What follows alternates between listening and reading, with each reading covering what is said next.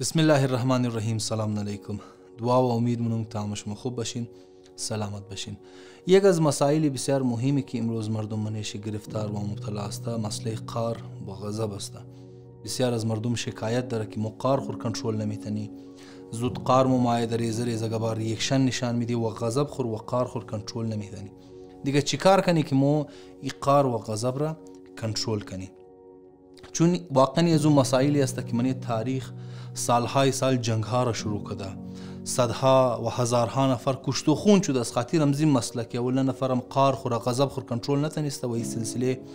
کشت و خون سالهای سال چلیده و صدها و هزارها نفر را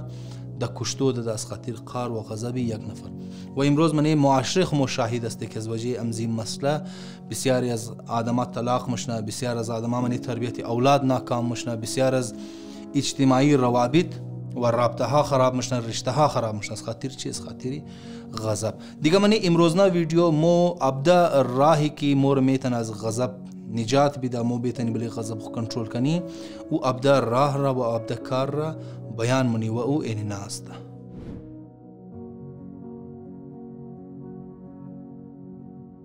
اولنر راهی که اسلام نسبت د مختلف روحانی بیماریا بیان منه اوی است که انسان خود را از ناجوریا بچاو کنه از او بیماری بچاو کنه و نسبت د غضب چطور انسان میتونه خود خور بچاو کنه که انسان صبر بخشش درگذشت معتدل کدوی توقعات خو وقت ای کوالټیز را انسان منی خو مضبوط کنه منی خو طاقتور کنه اتوماتیک انسان بلی قار خو کنټرول می تن چون ده بسیار از مواقع او وقت قار انسان ما یک انسان از آدم بیش بی زیادتر که است زیاد توقع میله وقتی زیاد توقع اشتی اتوماتیک وقتی او توقعات پورا نشد انسان سوخته مشنه انسان قار شما انسان ریکشن نشان بیه لیکن شروع اگر انسان هم توقع خو معتدل بیله چیکار بشن قار انسان نمای یا انسان بخشیدو را منی خو مضبوط کنه ریزه ریزه غلطیا را ریزه ریزه کارهای که کن انسان مشنا غلط مشنا انسان ببخشا اونا را و اینا چی کار مشنا ایمنه زندگی انسان باعث مشنا که انسان مقارش ده کنترولش بشه مگه پروا نداره ما ای آدم را بخشی دوم پس اول نه را بچاو کدو است اوم د ذریعه چی د ذریعه زی که انسان اینی کوالټیز رمنه خو مضبوط کنه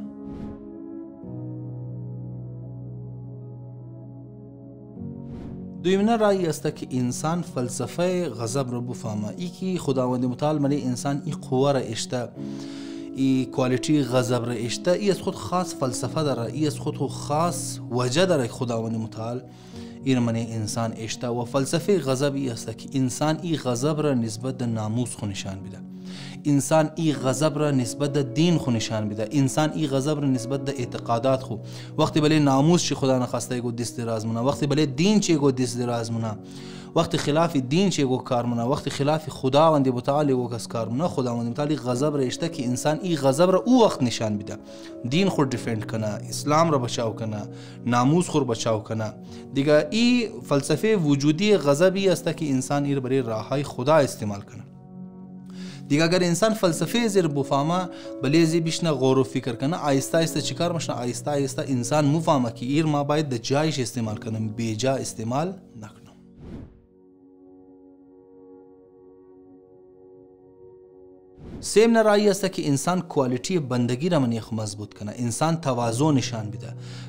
کوالټي بندګي است که انسان بو فهمه که ما بنده خدا هستم ما او رنگه که خدا میخایه باید او رنگه باشم او جایه که خدا میخایه باید امو جایه قارمه باید او جایه که خدا منه کده او جایه ما قارمه نه دیگه هم مثل از ما بنده خدا است و ما هیچ برتری ندارم نسبت ده دیگه که ما بلیز نه قار شنم بلیز نه خود کلان کلان کنم بلیز نه غضب خورتا کنم قار خور سوختگی دل خورتا کنم دیگه ما هیچ حیثیت ندارم ما گو ویلیو ندارم که دیگه بنده های خدا را ما به عزت کنم دیگه بنده های خدا را ما ابرویش ببرم دیگه بنده های خدا را ما کچی به تمیزی کنم دیگه وقتی انسانی بندگی را منی خو مضبوط کنه ای کوالیتی بندگی را منی خو مضبوط کنه اتوماتیک ای قار انسان د کنترل انسان چرا چون انسان مو فهمه که ما زندگی از ما د او جایا باید مصرف شونه کوالیتیز از ما د او جایا باید یوز شونه که پروردگار عالم خواسته و اجازه داده نه د او جایا که پروردگار عالم منع کده خداوند تعالی منع کده باشه دیگه ای اگر انسان ای کوالیتی نیش بای انسان از دایره بندگی خدا بر مشنه که دو جایی که خدا منع کده انسان غضب خور نشان بده دیگه اگر انسان بندگی را منیخ مضبوط کنه ای چیز را بار بار ولیش بشنه غور کنه فکر کنه اعتقادات خو زی حواله مضبوط کنه و بیر او اعتقادات را د عمل اپلای کنه و ای بندگی مضبوط چونه آهسته آهسته خود به خود انسان بلی قار خو کنترل منه دو جایا قار نشان میده که خدا خواسته و لازم قرار داده و قطعا او جایه که پروردگار اجازت نداده و نمیخایه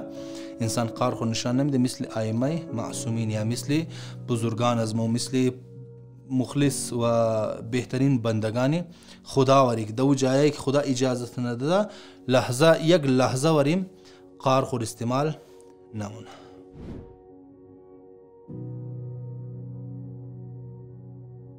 یک از دیگه کارهایی که باید انسان انجام بده اوی است که کوالیتی صبر را منی خو زیاد کنه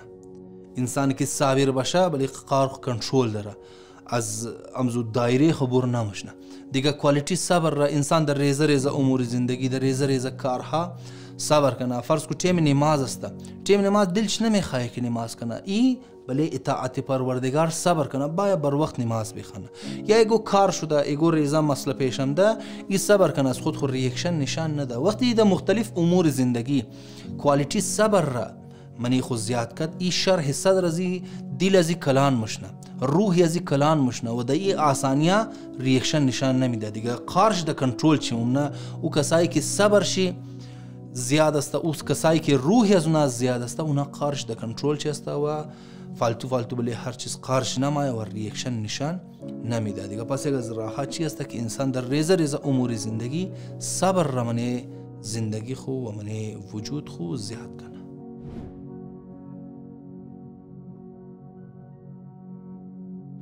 یک از دیگه کارهایی که انسان باید انجام بده برای اینکه قارش در کنترل چی بشه غضب شده کنترل چی بشه ای است که انسان کوالیتی تغافل را منیخ پیدا کنه تغافل یعنی نادیده گرفتو چشم پوشی کدو یک کاری شده یک غلطی شده نادیده بگر شده بگی نشده ای کار یار مثل از که یک روز امام علی علیه السلام که اصحاب خورایی بود یک کس درو بدگویی امام علی علیه السلام را مکد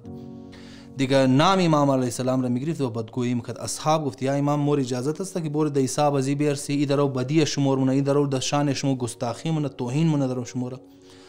درو نام شیر میگریفت اما امام علی علیہ السلام چی مگه مگه نه ای مر نه مگه ای گو دیگه علی را مگه یگو دیگه علی را مگه دیگه ای کوالیتی تغافل و چشم پوشی واقعا منی مختلف امور زندگی بسیار زیاد مهم است و اهل بیت علیهم السلام بلیش بسیار زیاد تاکید کده چیم خورپوټ بگر بگی مر نگفته یار از قصد نکده خلاصه ما د زید از ما نکده دیگه ای چشم پوشی و تغافل رو وقت انسان من خو مضبوط کنه بسیار از امور از پیش انسان د سادگی تیر میشن و قارشی نماید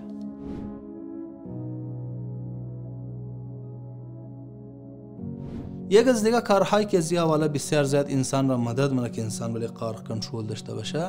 انسان چوب ششتو را یاد بگیره امروز متاسفانه یک بسیار بد عادتی که بسیار از انسان ها داره زیاد گپ مگه در هر چیز گپ کوشش منه گپ بگه دیگه چوب ششتورش خوش نداره دیگه اگر انسان بیتنه چوب ششتو را خاموشی را منی زندگی خو آیسته آیسته مضبوط کنه در هر امور د تمام امور لازم نیه که انسان گپ بگه د هر چیز لازم نیه انسان گپ بگه دیگه گری خاموشش تو رو و سکوت را انسان بیتنه منی زندگی خو آهسته آهسته مضبوط کنه چوب ششتو را یاد بگیره دیگه وقتی قار شما چون یاد داره میتونه خود خود کنترل کنه وقتی قار شما چیکار میشنه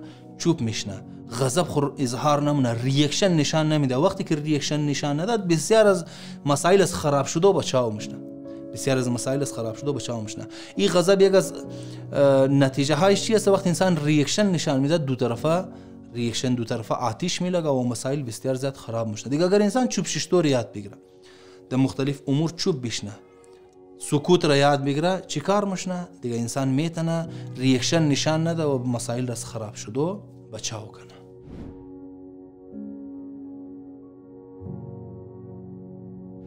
یک از دیگه کارهایی که این بسیار زیاد مهم است و واقعا بسیار زیاد هلپ مونه این است که انسان امور را صحیح تفسیر کنه بسیار از اوقات دمنی مختلف کارها انسان ازی وجه سوخته مشنه که انسان بری خو غلط تفسیر منه فرض کن شما منه گاڑی درو درایو منین روی بروی شما گاڑی رای سو اچانک بریک میزنه وقتی اچانک بریک میزنه شما چیکار مشنه انسان بسیار زیاد سوخته مشنه که بایی ای آدم دیونه شده که اچانک بریک زده لیکن اگر انسان صحیح تفسیر کنه فرض کن انسان ایر سوچ کنه یار ممکنه ګاډی ازی اچانک خراب شده بشه ممکنه اچانک پټرول ازی ختم شده بشه ممکنه اچانک ټایر ازی پنچر شده بشه انسان سوخته نمشنه وقتی واقعا بوره انسان بینگر نه مفهمه واقعا بیچاره گاڑیش خراب شده اچانک دخول روډ دیگه اونج انسان سوخته نمشنه اگر انسان مختلف امور زندگی را صحیح تفسیر کنه صحیح تفسیر کنه بسیار از کارهای از موز وجه غلط تفسیر است فرض که آدم یک کاری کده انسان بر یک تفسیر ونه که یار ای آدم د زید ازمایی کار رکده وقتی که انسان ای رنگه تفسیر کنه که فلانی د زید ازمایی کار رکده انسان سوخته مشته انسان قار شوه اما وقتی انسان ای رنگه سوچ کنه که یار نه ای توجه نداشته ای غافل بوده مثلا بسیار از اوقات مشنه که بعضیا گیله منه که یار فلانی مغرور شده به ای چی کار کده مغرور شده یک روز تیر مشد ماشر سلام کدم جواب سلام مر ند وقت از بنده خدا خود چی بر پرسان بگویان ما والله ما ایش نتی دو مورا ما دا سوچا از خود خود فکرا از خود خود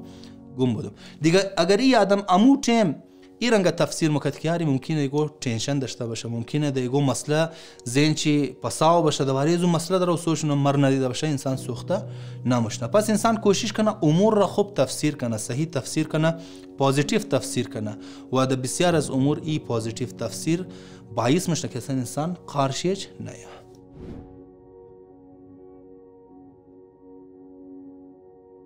یک از دیگه کارها که از والا انسان را مدد منه و هلپ منه او است که انسان ام دمزو جای که قارشم ده امو جای را ایله کنه از او جای بال چوده بوره یا حالت خورا تبدیل کنه فرض که انسان د خانه شته ګورې زګه مشنه انسان سوخته مشنه قار شمه فورا بال چوده پوره یک دو سه گلی چار گلی را یک نیم گنټه واک کده باید مینگر نیار قار شی ختم شده دیگه انسان فورا حالت خور تبدیل کنه من روایت هم بلیزی بسیار زد تاکید شده مگه اگر ششته استاده شو اگر استاده بیشی اگر ششته خواو کو خلاصه انسان باید حالت خور تبدیل کنه توجهش وقتی دیگه طرف شد خود به خود غضب شی د کنترل شونه و انسان ریکشن نشان نمیده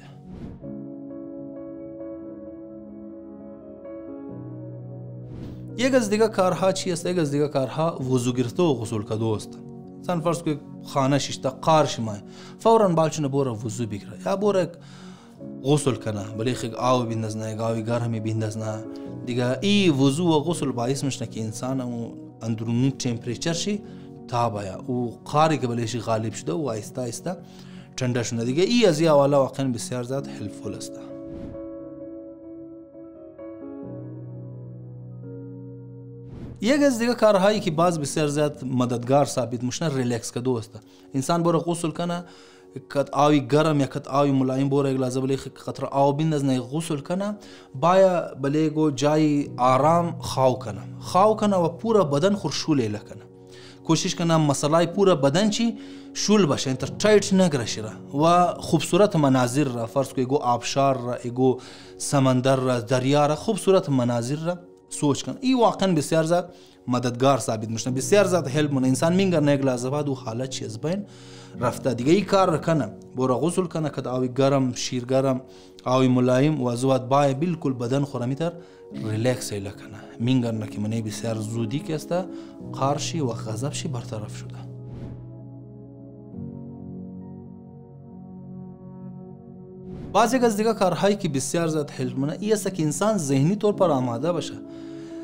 انسان ذهنی طور پر تیار باشه که بایی زندگی منیش و تر چڑاو درا منیش تاوبال موش نگبا دیگه ای تر ایج زندگی ایچ کس نی است که منی زندگیش ایج مسئله ایش پیش نیا وقت انسان ذهنی طور پر آماده باشه وقتی پیشترکایی انسان آماده باشه چیکار مشنا قار انسان کمتر ما فرض که یک سفر است انسان دا یک سفر رایه او سفر اگر تو دا پیشترکایی دا ذهن خوبه لیکیار ای سفر سختیادر فرض سفر اربعین است برای اربعین یک آدم پیشتر کایی زین خو تیار میلک یار ما 100 کیلومتر را پیدل رفتنی هستم وقتی او تا مشنه د نجف د آسانی بسیار د راحتی د خوشی خو مورد کربلا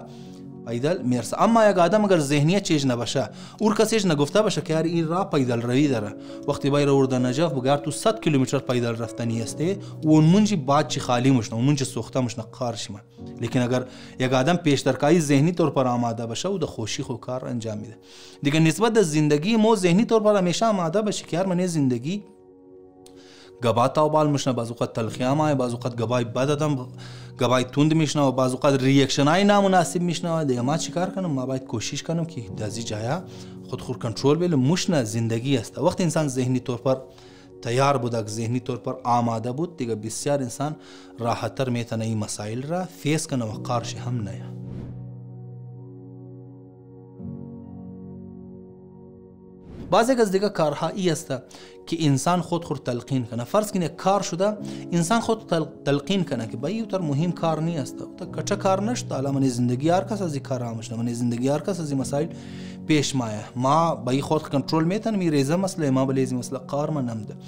ای واقعا بسیار مدد مونه وقت انسان تلقین کنه که به این کار منم ده یو تا کچا مسئله نیست ریزه مسئله است دیگه انسان بی تا بسیار حد را آیسته آیسته میتن از اومد خود خورا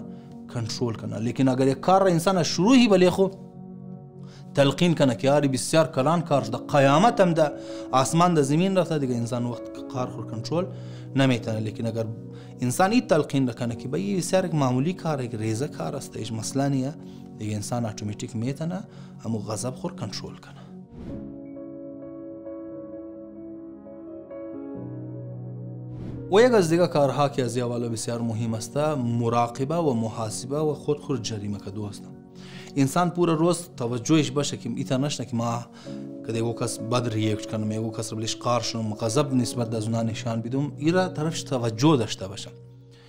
مو واقعا منی زندگی اخی داره سک طرف ازیش توجه نداری ایج دقت نمونی که ارمایی کار را کدنی نیستم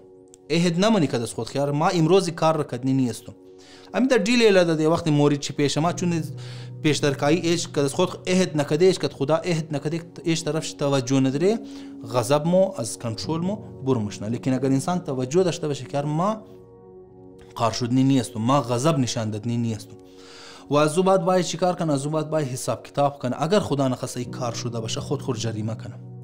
فرض کو صبح که از خواب بال میشنه یار مگه اگر امروز ما بلیگو قار شدم ما صد روپیه غریب را صدقه میدم یا مثلا سه روز روزه میگیرم آیت الله بروجردی رحمت الله علیه